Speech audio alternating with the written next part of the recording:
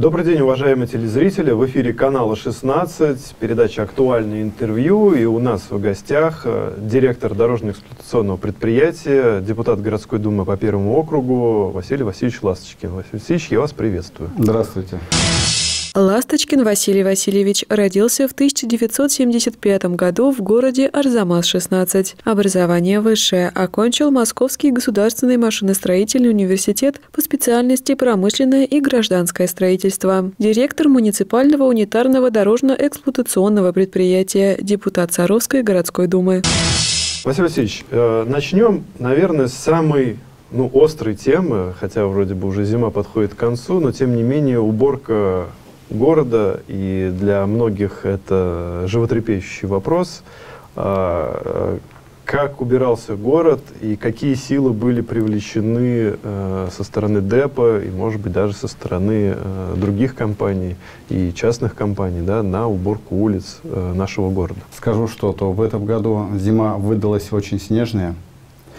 А, да, скажу, что это было нелегко убирать город, а, потому что сразу на все участки города техники не хватало, ее же не бросишь сразу, приходилось убирать э, согласно очередности. Первая очередная улица – это автобусный маршрут обязательно, автобусные карманы, потом вторая очередь, и уже в конце выходит третья очередь. Э, своего транспорта не хватало, там порядка у нас выходил 25 единиц, это ежедневно, но этого мало, чтобы, грубо говоря, убирать очень большое количество снега. Приходилось еще а, нанимать наемный транспорт.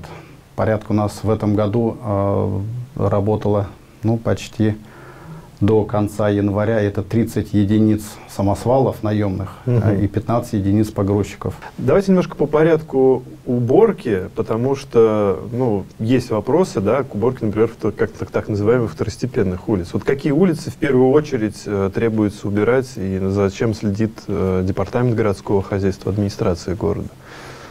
Но департамент, он за всеми очередностями следит. Если не убрали какую-то очередность, все равно прилетает штраф. И мы а даже штраф? Да, даже штрафы за невыполнение. Не Если жалоба поступила в департамент, департамент реагирует. И первоочередные, это, как я уже повторяюсь, автобусные маршруты, чтобы автобусы проходили, чтобы пассажиры были доставлены вовремя, кто на работу, кто куда. Силкина, Музрукова, строителя Захарова – но вторая очередь это ИТР, э, район э, Боровое. Потом уже идут э, Балыкова, и уже ТИС и Яблоневый сад. Ну вот для примера, да, возьмем ну, улицу Силкину. То есть понятно, что это магистральная улица, там четыре полосы, и, и по ней действительно ходят там автобусы. Но в то же время они поворачивают на улицу Александровича. То есть получается, что односторонняя улица также входит в перечень таких первоочередных улиц для очистки. А это автобусный маршрут. Как раз да. он и проходит. Э, с Силкина маршрут переходит на Александровича, опять по проспекту, потом по улице Духова, угу. поворачивается, и пошли уже Силкина и Харитона, и ну, еще улица Шверника, соответственно. Да, улица Шверника, да, тоже автобусные маршруты, поэтому... То есть они в первоочередной да. критерий входят. Ну, а остальные по мере сил, или все-таки у них есть вот этот график очередности, который должен соблюдаться? У них, да, есть график очередности. На каждый день, каждая улица распределена график уборки, где мы убираем от бордюра до бордюра, просим, чтобы жители убрали транспорт.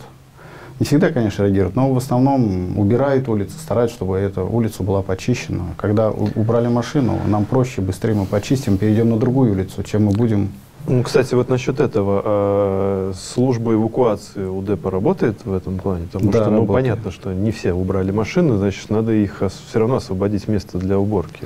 Да, служба эвакуации работает, но мы работаем в тандеме с ГИБДД, поэтому тоже зависит больше от сотрудников ГИБДД, от их занятости, от их времени, чтобы без, мы самовольно, без протокола машины эвакуируем не имеем. Ну, там целая процедура, да, порядок, да. который нужно соблюдать, да. конечно. В связи вот с привлечением большого количества сторонней, будем говорить, техники, да, хватает ли э, сейчас средств контракта для выполнения вот обязательств? То есть понятно, что пока вроде начало года, да, и вот контракт там 140 с лишним миллионов рублей, и пока вроде как денег хватает. Но на, на, на год-то хватит? Ну, на год посмотрим, хватит или нет. Сейчас просто будем дополнительными техническими решениями убирать какие-то другие виды работ с летней уборки, а потом уже когда подойдем к лету, будем смотреть. Какой объем все-таки территории, улиц, вообще сколько у нас протяженность, которую требуется убирать и э, требуется внимание со стороны депо? Ну, то есть что предусмотрено контрактом, цифры? Ну, протяженность дорог в городе у нас где-то 165-170 километров. Ну, в принципе, большое количество. Большое количество, да. Ну, по улицам, по протяженности, по этим, по очередности где-то 70 километров это первая очередная, и там 50 или 40 чем, ну, поделить уже вторая и третья очередь, где-то в, в пополам они. Сколько в этом году ДЭП вывез снега с, с территории города? Если точно быть, 170 тысяч кубов 170 тысяч кубометров вывезли. Вывезли снега, это по, так, по 10 февраля. И сейчас еще мы э, ведем подсчеты, ДГХ нас проверяет, и как бы дополнительным соглашением будем закрывать еще дополнительный объем вывезенного снега. То есть, в принципе, это ну, очень много. Это очень кажется. много, это, да. Если один самосвал, это там сколько, 20 кубов? Ну да, 20 кубов. То это, ну, там, 8,5 тысяч рейсов, Рейсов, да. Еще раз, похвалюсь, при очистке это хорошо спасали, это шнек-роторная погрузка. Вот, кстати, э, почему вот такой метод применяют, что не на, э, условно говоря, не на обочину, а в самосвал? А у нас сейчас же закон принят по Нижегородской области, за, запрещены а, шнекороторная переброска на газоны. И поэтому мы сделали большой еще приобрели на базе Беларусь. У нас сейчас два шнекороторных погрузчика. Он грузит вот эти 20-кубовые 3,5 минуты 4. И поэтому рейсов у нас очень много делает. Ну и, наверное, может быть, в связи с этим в продолжении этой темы, да, э, из-за нехватки собственных средств, э, ну, в смысле технических средств, да, но мы знаем, что ДЭП пополнился в этом году техникой. И вот, может быть, поподробнее, что это за техника и как она уже была задействована. Да, в этом году у нас было... Нам приобрели и поставили на наше предприятие 5 э, единиц уборочной специализированной техники. Это КО на базе КАМАЗ. Э, она для того, чтобы чистить город, э, подметать и посыпать. Это специализированные машины. Грейдер э, то же самое, он как и на расчистке города задействован, также на строительстве дорог тоже может задействован угу. быть, потому что он для планировки или расчистки снега угу. отвалом. А, две прицепные посыпалки, это тротуарные, потому что у нас уже э, на базе «Газель» и свой ресурс выработали, уже как бы уже сгнили до такой степени, что восстановлению не подлежат. Нам две посыпалки. Они очень хорошо посыпают. Их даже можно и улицы посыпать, не только тротуары. Угу. И у нас э, еще два э, МТЗ. Это трактор, так называемый «Белорус». Mm, понятно. Это ну, тоже для, для обычный, обычный «Белорус», э, отвалы щетки для, для очистки тротуаров и дорог также. То есть, соответственно, трактор, к нему посыпалка, да, как да, прицеп, да. и в щетки соответствующее навесное оборудование. Да. Вот хорошо, что мы про тротуары затронули тему. Ведь есть определенные, ну, будем говорить, зоны ответственности, да, вот у ДЭПа по контракту, по да. муниципальному. Для понимания, может быть, наших телезрителей, где ваши зоны ответственности? Потому что, ну, не все раз, разделяют, да, что вот у меня тут не почищено, а кто конкретно не почистил, э, большой вопрос. Ну, начнем с того, чтобы было проще ориентироваться. Это тротуары возле центральных дорог где мы очищаем, это идут тротуары, это ответственность ДЭП. И э, по одному контракту муниципальный, это внутриквартальная территория, там убираем, да, мы проезды, и там один тротуар согласно схеме распределения, это у нас 22 микрорайон. Угу. И еще у нас же зона ответственности тротуар это скверы. Сквер за администрацией, там театральный сквер, а, потом а, бульвар, который на а, Березовой, угу. тоже это как бы наш сквер, а Посадовый сквер, вот это наша зона ответственности. Ну, то есть основная часть работы это именно что дороги непосредственно Да. сами автомобильные, к ним прилегающие тротуары, Да. вот то, что идет вдоль, ну и несколько скверов, которые по отдельным контрактам. Все остальное убирает э, управляющая компания, получается. Да, управляющая компания. Вот, то есть поэтому, если у вас, так сказать, если вы во дворе застряли, да, то это вопросы не к депу в первую очередь. Нет. Это вопросы к той управляющей компании, которая э, содержит эту территорию и по другому совершенно контракту за другие деньги. Да, много таких обращений, которые, вот, э, да, я во дворе вот застрял, я не проехал, и звонят в ДЭП. Мы вроде говорим, что это не наша зона ответственности, все равно это ДЭП должен, если чистит ДЭП, значит должен все чистить ДЭП. Вот как бы у людей такое э, складывается мнение. Ну вот, я надеюсь, что сейчас мы немножко его, это мнение, так сказать, поправим. Во-первых, надо обращаться в департамент городского хозяйства. Я думаю, что они следят за всеми контрактами и их исполнением, да? Да. Вот. И я думаю, это лучшее место, куда нужно направлять свои жалобы и обращения в этой ситуации. Насколько обеспечено сейчас э, кадрами э, и как эта ситуация в дорожно-эксплуатационном предприятии складывается? Как бы кадровый голод, он везде кадровый голод, да, не хватает и механизаторов, и водителей, поэтому нам приходилось в этом году даже заключать а, такие договора гражданско-правовые, чтобы привлекать для уборки транспорта. Есть, которые работают по сменам где-то на другом предприятии, но могут работать и у нас. Как бы они прошли стажировку, они прошли обучение и выпущены были на линию. Также это на грейдеры, это на КДМки. Вот как бы с- помогали еще эти. А так бы, конечно, не мешало, чтобы еще пришли водители, механизаторы. Ну, я так понимаю, в городе-то их особо и, и нет. Да, в городе нет, поэтому мы запрашиваем везде, запросили и в Вознесенской, вез- работаем с этим э, с, центром занятости, и Дивеево, и Первомайск, и даже Дарзамаса, и, и Мордовия тут близлежащие все. Это как бы кое-что как бы уже пришли. Несколько человек по этим объявлениям ну, нам и водитель, механизатор, два водителя, три механизатора. Теперь поговорим о будущем, наверное, близлежащем, можно сказать. Мы сейчас в силу погоды, да, особенно в ближайшие месяцы, я так понимаю, у нас будет э, с плюса на минус температура воздуха скакать. И это всегда очень тяжелая проблема с точки зрения состояния асфальтового покрытия. Что сейчас будет производиться с точки зрения, э, ну, во-первых, ямочного ремонта, да, оперативного, во-вторых, какие планы по строительству дорог? Наверное, начнем, начнем с ямочного.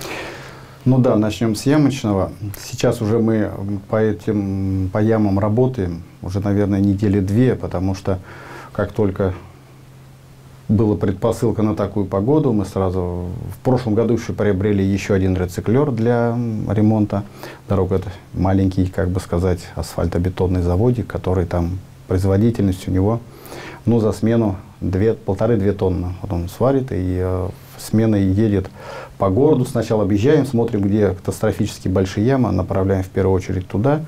Спасает, но в какой-то мере все равно мало.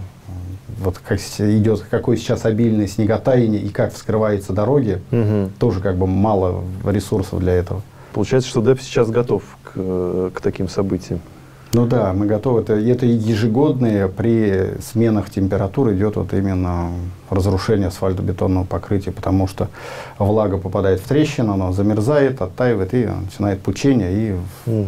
потом ну, автомобили и быстро очень разбивается в такую погоду. Даже лучше бы был мороз, оно было бы не, не так разбивалось, как вот идет сейчас при снеготаянии. Насчет контрактов на будущее, да, э, в этом году планируется у нас строительство дорог, э, какой дорожный фонд и как ДЭП будет участвовать э, в, этом, в этих работах? Ремонт дорог, да, ДЭП будет участвовать в этих контрактах, будут разыгрывать, будем участвовать и, надеюсь, будем выигрывать и работать по ямочному ремонту, который будет как бы запланирован большими картами.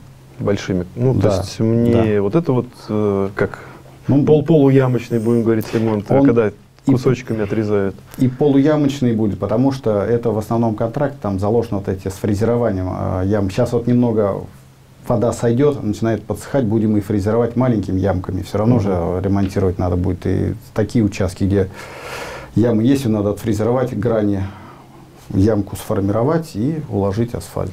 А вот насчет сроков вообще, есть ли какие-то контрольные сроки, и как вообще за вами ну, там, следят же наверняка, и ГИБДД, по-моему, это их функция, Да. да, э, контролировать э, состояние дорог? Как за это? нами контролирует департамент городского хозяйства, за нами контролирует ГИБДД, за нами контролирует прокуратура. В общем, за всеми, за очист, ну, и очисткой, и обрезанием веток и знаков за нами все контролируют. И иногда предписания прилетают от всех, чтобы устранить там-то, устранить там-то, устранить там-то. Ну, то есть, в принципе, контроль, да. э, без контроля эта работа не ведется вообще нет. ни, один день. Нет, нет, контроль ежедневный. Вот к вопросу о контрактах как раз, э, наверное, такой немаловажный аспект. Раньше ДЭП существовал, ну, будем говорить, может быть, в несколько вольготных условиях, не было конкуренции да, на рынке строительства дорог, строительства, ну, как новых дорог, так и ремонта. Вот сейчас ситуация как изменилась? Насколько ДЭП потерял э, в связи с возможной конкуренцией э, в городе за последние несколько лет? Ну, ДЭП э, как бы участвует в конкурсах на общих основаниях со всеми коммерческими организациями, которые заявляются на конкурс. Точно так же мы просчитываем, просчитываем свои прибыли и убытки, до какой э, отметки мы можем снижаться на конкурсе, чтобы не попасть ну, как бы в убыток себе. Ну, тут ведь получается так, что э, если брать раньше, то э, ДЭП зарабатывал, будем говорить, на строительстве, да, а вот по очистке вообще у меня такое ощущение, что денег в, в контракте не хватает точки зрения содержания и очистки дорог, ну, особенно вот в такие снежные зимы. И получается, за счет тех контрактов как-то софинансировали эти работы как некая социальная нагрузка.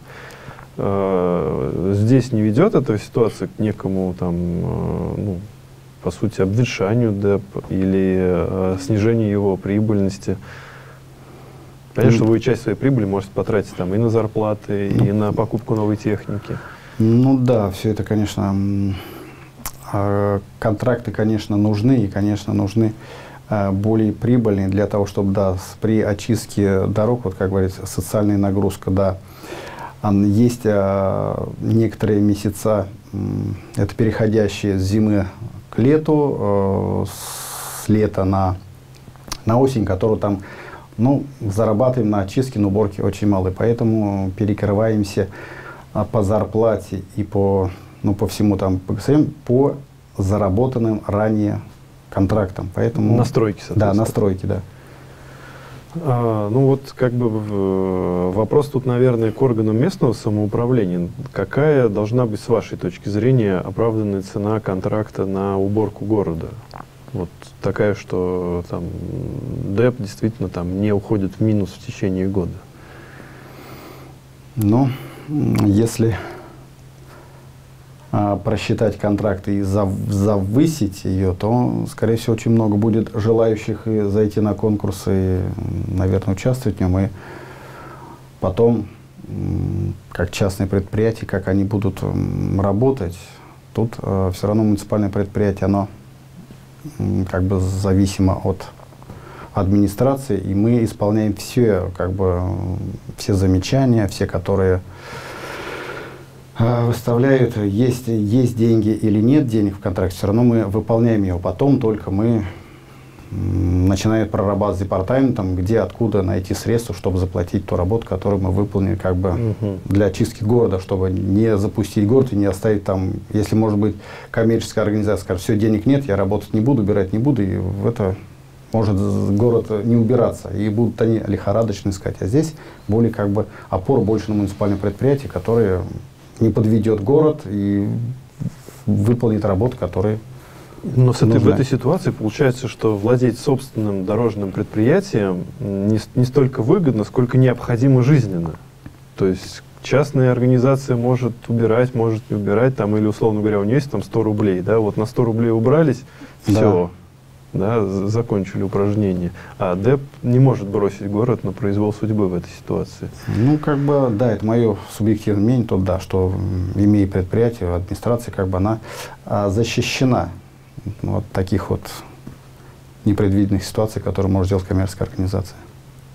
Василий Васильевич, э, Вторая, наверное, тема, которую помимо основной деятельности вашей как директора, э, это депутатская деятельность. Э, ведь вы как депутат первого округа, депутат самого большого округа э, в городе, я вот напомню, может быть, и здесь первый округ, это, по-моему, 4300 избирателей, если да, я правильно помню. Да, да. Это при том, что, ну вот, например, у меня, по-моему, 2150. То есть это в два раза, в больше, два раза больше, чем в средний округ в городе.